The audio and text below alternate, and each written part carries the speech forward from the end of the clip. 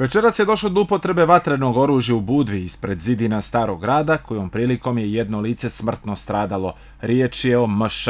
Policija u saradnji sa nadležnim tužilaštvom preduzima aktivnosti na rasvjetljavanju događaja, o čijem ishodu će javnost biti blagovremeno obavještena. Osim ovog šturog saopštenja, proslijeđenog medijima pola sata iza ponoći, policija se više nije oglašavala povodom ubistva Milića Minja Šakovića, koji je likvidiran pola sata prije ponoći u kafiću ispred zidina Budvanskog starog grada.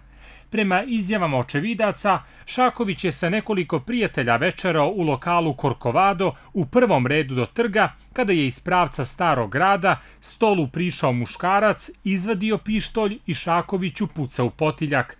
Prema nezaničnim informacijama, nakon ispaljena tri hica, Šaković je pao na pločnik, a potom je nepoznati muškarac još dva puta pucao u svoju metu.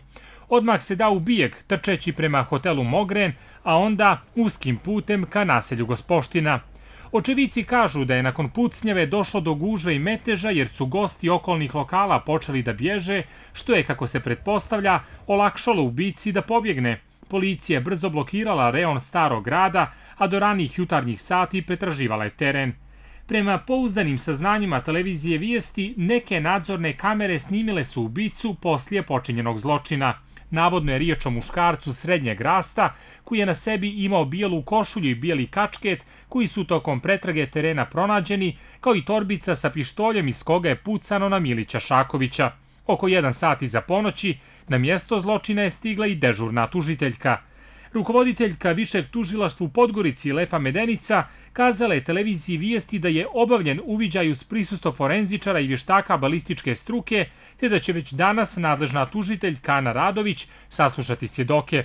Milić Minja Šaković je, prema informacijama policije, važio za visoko pozicioniranog člana škaljarskog klana, ali i vođu podgoričkog ogranka koji je posljednjih godina bio na meti suparničko-kavačkog klana. Prošle godine policija je uhapsila više osoba, tvrdeći da je time spriječen atentat na Šakovića.